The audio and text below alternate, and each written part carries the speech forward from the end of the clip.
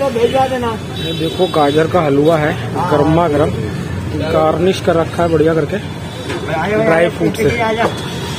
यह है मेरे पास गुलाब जामुन। आज जामुन गुलाब जामुन कैसे आ आप चलोगे? दो पीस लगा देना जरा। रसगुल्ला पचास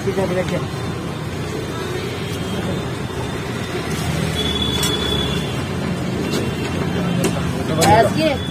लो। पहले एक दे देना अंकल एक। अभी बाद में दे।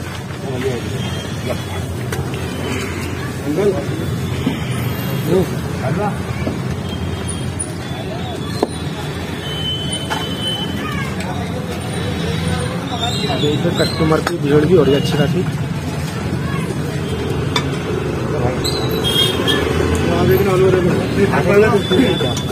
भेज पीस देना बस एक ही? एक सौ बीस रुपये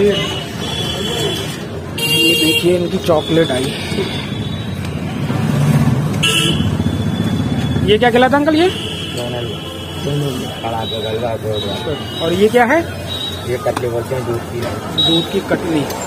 ये ऊपर क्या है भाई? ये बच्चे बोलते हैं ये सारा आपका अपना बनाया हुआ है? हाँ अपना बनाते बहुत बढ़िया। अच्छा ये जगह कौन सी कहलाएगी हैं ये थाना गलपेट के सामने थाना गल शहीद के सामने खड़े होते हैं ये देखिए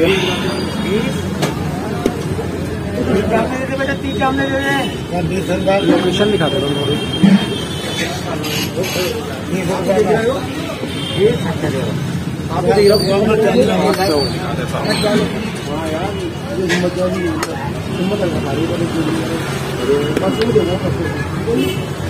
रसगुल्ले क्या रेट है वैसे?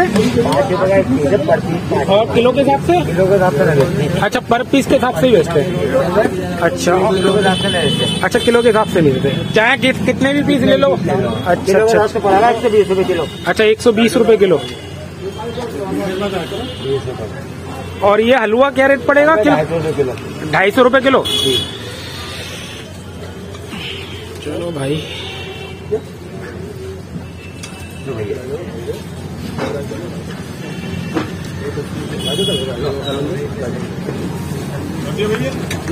किलो चलो भाई। क्यों चार रस्ते में तो होंगे देखो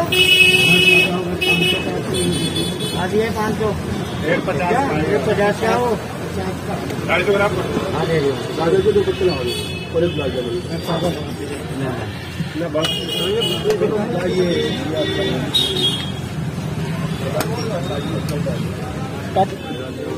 पर पीस पाँच रुपए का दे रहे हैं और ढाई सौ रुपये किलो आपका गाजर का हलवा। देखिए गार्निश कितना बढ़िया कर रखा है।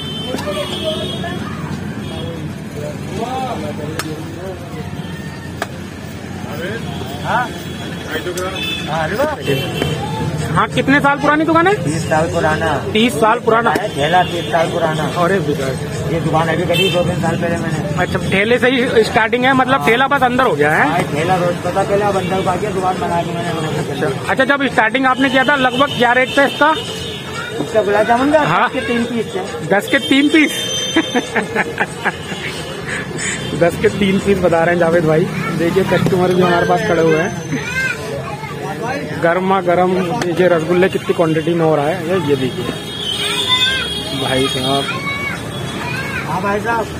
थाना गल शहीद के सामने खड़े होते हैं जावेद भाई। का वो भी दिखा देता हूँ ये देखिएगा जावेद स्वीट्स चलो आप लोग मुझे कमेंट सेक्शन में ज़रूर बताइएगा। आपको ये डिश कैसी लगी?